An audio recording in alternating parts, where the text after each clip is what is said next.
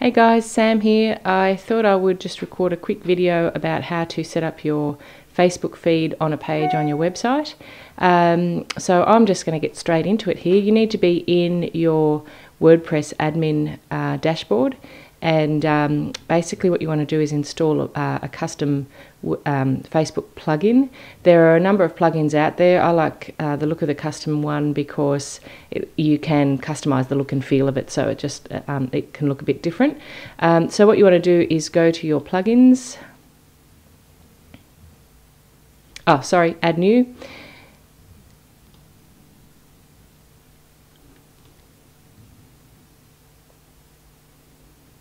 And do a quick search for custom Facebook feed, I think it is.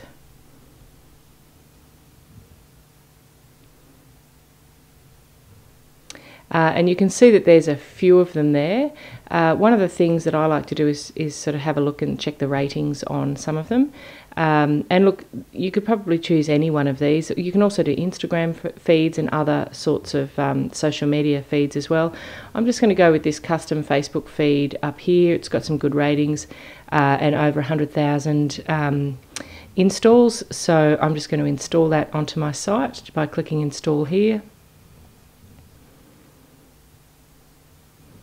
Now at the moment it's not going to appear on a page anywhere. I actually need to put some code on a page to do that and I'm going to activate the plugin.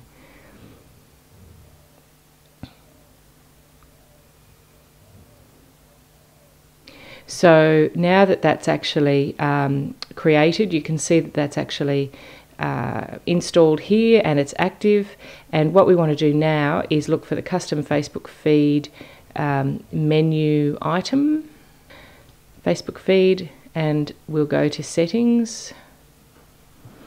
And what you do here is put the Facebook page ID so I'm actually going to put the Get You Digital um, Facebook page. So I'll just go back to my Facebook and get that um, ID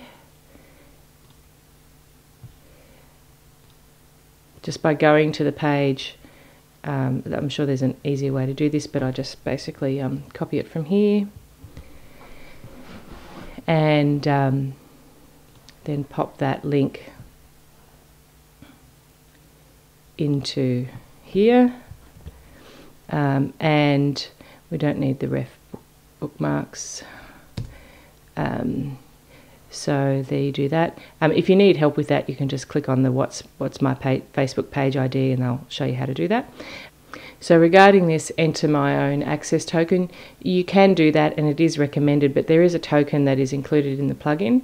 And for the moment, I don't want to bother um, creating a token. There are some step-by-step instructions here. I'm just going to um, keep it as it is, and I might go back later and follow those instructions and do that. You need a, um, to log in to the developer portal and, and get a token. Um, but uh, I'm just going to try it just without it basically. So basically, you want uh, do you want it on a page, a group, or a profile? Um, I'm going to actually put it on a page and show posts on my page by um, only the page owner or page owner and other people. So um, I probably want to do both. Um, number of posts to display, I might just leave it at the default there as five, change the post limit. It basically means the number of posts that are actually retrieved from Facebook, and it can slow things down a little bit and take uh, longer for the for the Facebook component to register, um, or sorry, to render on the page. So uh, I'm just going to leave that um, as it is. Um, check for new post Facebook posts every one hour. Um, you can change that to minutes or days, depending on how much activity you're having on your site. Might depend on how frequently you want to update that. So I'm just going to leave that as one hour. And in terms of localization stuff, you can do you know English UK, English US, whatever. I'm just going to leave it as English US. Um, and the time zone, I am actually going to change that to uh, Sydney, Australia. Funny, they've got Brisbane but not Sydney. Um, and then just save changes.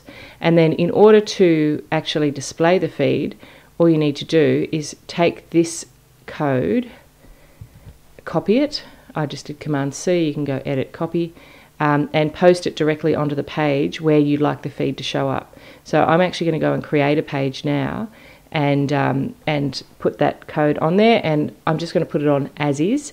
But you can actually do a whole heap of shortcode options here that customize the look and feel of the Facebook feed.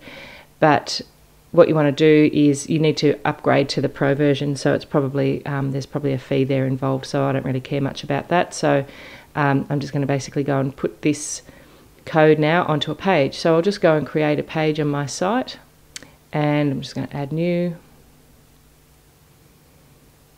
And I'm going to call it the um, Facebook feed example.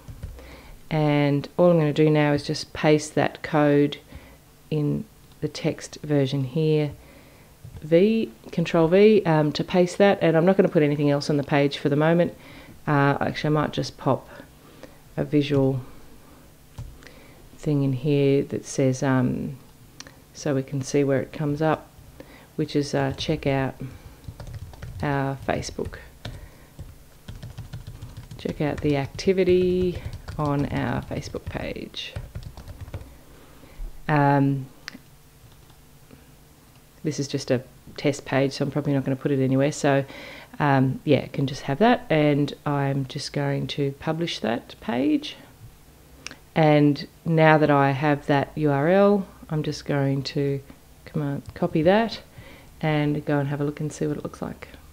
There you go look at that. Um, so that that's sort of displaying basically just as the feed comes through um, and it's got um, links there and that sort of stuff, and also has um, any of the images or whatever else that pop up on the feed. So that's pretty well how easy it is to get that on your page. Now, if that was, for example, if I wanted to put it on, um, I don't know, the sponsorship page down the bottom, um, I would basically just insert that code at the bottom of um, the form on this page and then it would appear down there. So obviously you can change the look and feel of that plugin by upgrading to the pro version and I'm sure it's probably fairly straightforward but um, yeah for the moment that gives you all of the Facebook feed that's on there. Hope that helped and uh, yeah if you've got any questions let me know. Cheers guys.